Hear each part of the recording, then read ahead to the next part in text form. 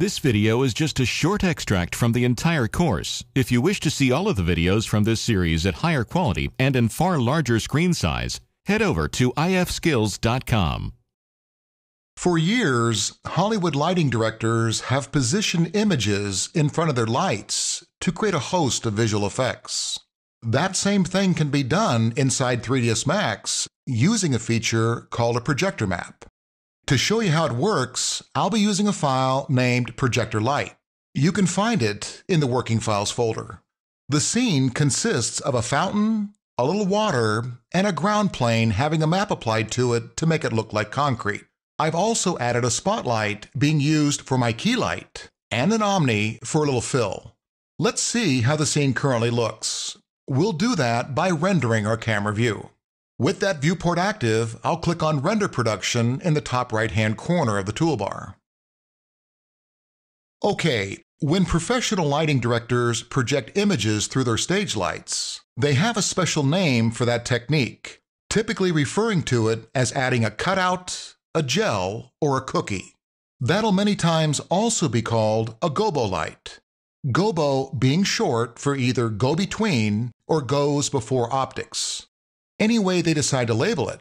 The purpose of a gobo is to alter the effect of a light source by changing anything from its color to its design or pattern that the light casts on whatever in the scene it hits. It's a time tested technique that's been used by lighting technicians for decades to assist in giving the illusion of something that's not actually there. The gobo could be anything from a ghosting image to a shadow created as an alternative to actually having to build something in the scene to create that shadow. A building, a light, a gate, you name it. Gobos in 3ds Max are referred to as projector lights. To set one up, you'd select the light, then in the Modify column, head under the Advanced Effects tab in the Light settings. Let's do that. We'll close our render and select our spotlight. In the category named Projector Map, you'd then click on the None button signaling to Max that you'd like to load something in front of the light. From the browser that opens, you'll then choose Bitmap. We'll now need to navigate over to where our image is that we'll place in front of the light. For this example, I'll head into the Chapter 12 folder of the working files. Let's choose the image named Sunset. Now before we load it, we'll click on the image once, then down in the lower left-hand corner, click on View. So we'll put this image in front of our spotlight, having the picture then showing through in the area of the light's cone. Let's now render and see how things look. Now, the light's fall off is spreading too far to the sides for us to get a real good look at the map. Let's bring that range in a little. We'll close the render so we can see just what's happening as we do so inside our views. We'll open the Spotlight Parameters category in the Modify column, then take our fall off to around 35. We can leave the hotspot value where it is. Okay, with the fall off range now closing down some, let's render again. Okay, that's an improvement, but even better still, let's hide the fountain and we'll apply a white material to our ground. Back in the viewport, I'll select the fountain, then right click, choosing Hide Selection. We can then head over to the material editor for our skin change. We'll do that by typing M on our keyboard. The white material in the lower left-hand sample slot has been named the same thing as the currently applied material to the ground, that name being ground. Because of that, we can quickly add the white skin to the scene by simply selecting the sample slot, then clicking on Put Material to Scene. Once we've done that, we can render again typing F9, the shortcut for render last. Let's also turn off the additional light that we're getting in the scene from our overhead Omni. In the viewport, we'll select our Omni light, then right-clicking on it we'll turn off its illumination. Rendering again, we now have a much better look at the picture that's shining through the light. Now, it's very easy to switch out the image that we have projecting through the light. We'll first, though, have to reselect our spotlight. Back under the Advanced Effects tab in the right-hand column, we'll click on the button that now reads Sunset.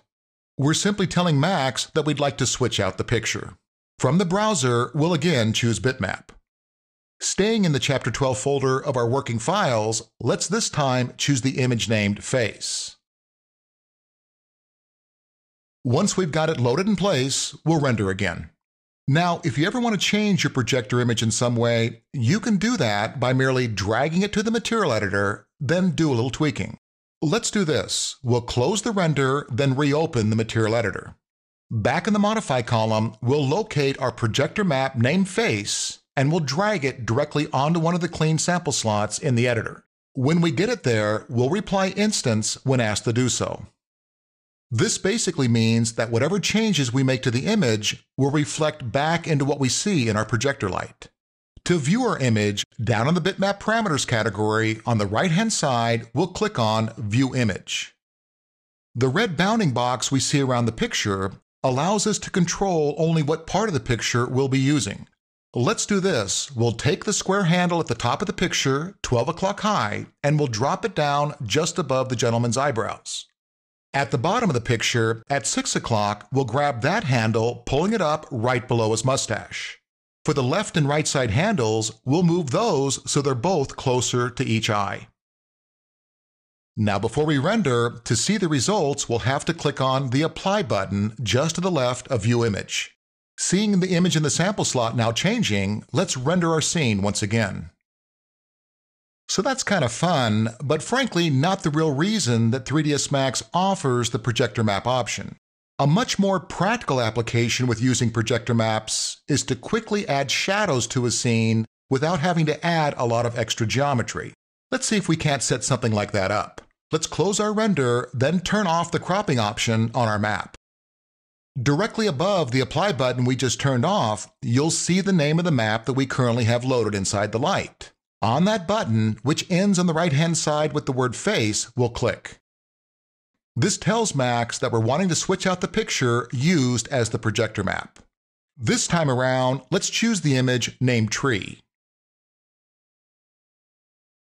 This picture will work ideally for casting a shadow down on our fountain. With the new tree map loaded, let's render again. So that quick and easy, we can simulate the shadow of a tree sitting just a short distance away from our fountain. Imagine how long the geometry for that tree would have taken to make, let alone the delay in render time created by the additional shadows from that tree thrown into the mix. Let's also change the shape of the area in our scene that's lit. The shape of the light's cone, in other words. Closing the render, again working on the right hand side, under Spotlight Parameters, you'll see an option that says Circle and Rectangle. Let's change that over to Rectangle. To have our cone of light better fit the viewport, we'll adjust the fall off on the cone to 48. Having better fit our shaded view, we'll render again. Okay, now we can reassemble our scene. Closing the render will unhide the fountain. We can do that by right-clicking on the screen and from the menu choosing Unhide All. Let's then render again. We should also get the concrete material back on our ground. Back in the material editor, we'll select the concrete skin using the command Put Material to Scene. Let's also turn the light that we're using for a little fill. That's the Omni. Selecting it back in the viewport, we'll right-click, turning the light back on. With the Omni back in action, the shadows now aren't quite as dark, creating more of a realistic effect by simulating a little bounce light.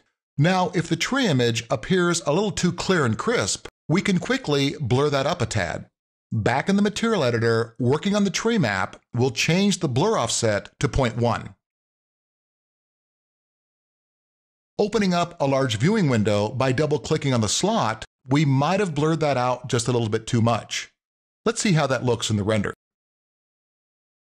You know, I think we did. Let's take the blur offset to instead 0.03. Not quite as blurry, but still maybe a little bit too much. Let's settle in on a blur offset of 0.01. Very good. Now, if we also only wanted to use a portion of our tree map, we could crop that. Back in the Material Editor, in the Cropping Placement category, we'll again turn on Apply. With the cropping window back open, we'll take the red handle at 6 o'clock, moving it up to the bottom of the trunk of the tree. We'll then take the control handle on the far right side, moving it a little bit to the left. Let's see how that looks once rendered up. Let's finish off the project by turning on a couple of settings that I deactivated on our water material. That would be both the reflection map and refraction map due to render time. Back in the material editor, we'll select our fountain water. That'll be the slot on the top row middle position. Down on its map branches, we'll then simply activate both the reflection branch and the refraction branch. Once we do so, we'll make one final render to see how things look. Nice outcome, and pretty painless using a projector map to simulate the shadows. What makes the Gobo Light feature in Max even more flexible is that you can even load animated clips into the light, creating a kind of TV or a movie projector effect like you see here. The movie's named Projector Movie. I've thrown it over into the Working Files folder if you'd like to take a look at it. So there you go, quite a few things that you can do with a projector map. I'm going to go ahead and save the file out as projector light completed if you'd like to go in for a look.